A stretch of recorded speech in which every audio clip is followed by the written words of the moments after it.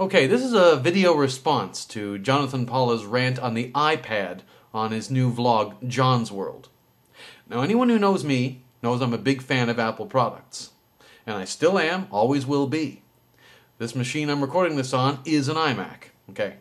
However, I have to say I agree with Mr. Paula 100% on this one. I've been following the iPad. Now, it's a cool concept, I'll give it that. I mean, basically, this thing is a pad, P, uh, personal access display device, right out of Star Trek. Those those computer access things they used on the ships to be able to, you know, they carry around. You see Jake Sisko carrying these things around in Deep Space Nine a lot when he was writing, you know, and stuff like that. Um, so in that sense, it's a cool concept. But if you ask me, well, the many of the points that, that Mr. Paula makes uh, is, is that basically the, the technology hasn't quite caught up to where to make this thing practical yet.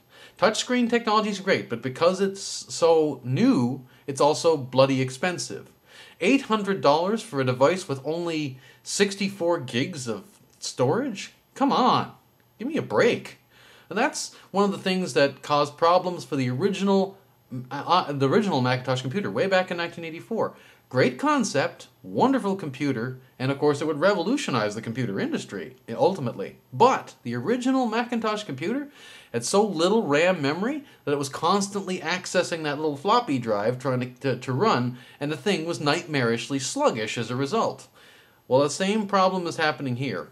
The iPad is underpowered. Cool concept, but it, but you have to wait until the technology becomes cheap enough where you can put that kind of like a little more storage and a lot more power into the same device for $400 or less.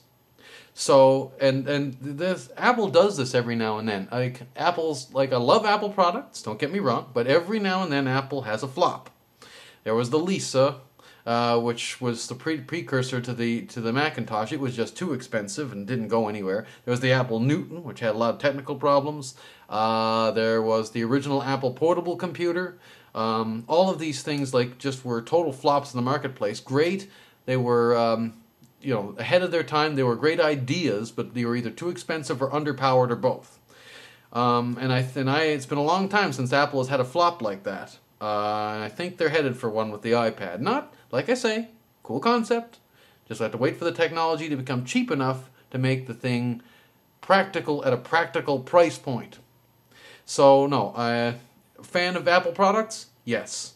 Fan of Apple iPad? No. I'm never going to get one of these things, at least not for another three or four years until they get it to a point where it's useful. So I agreed with Johnny 100% on this one.